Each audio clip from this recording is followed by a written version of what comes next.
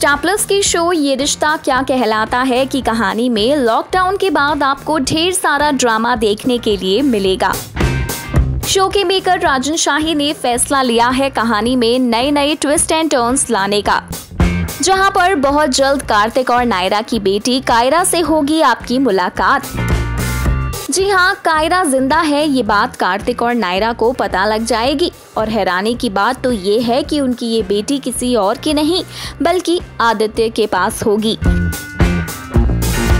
Well well, Aditya को भी अब आप शो का हिस्सा बनते हुए देखेंगे जो कोशिश करेगा कार्तिक और नायरा की ज़िंदगी में बहुत सारी परेशानियाँ लाने की।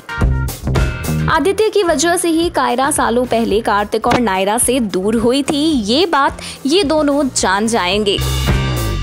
यूँ तो कहानी में हमने लीप के सीक्वेंस बहुत देख लिए हैं। कभी 10 साल का लीप, कभी 5 साल का लीप तो कभी 2 साल का लीप। लेकिन इस बार राजन शाही लीप से अलग हटकर लेकर आ रहे हैं विलन आदित्य की धमाकेदार एंट्री को, जो शो की कहानी दिलचस्प बनाने वाला है।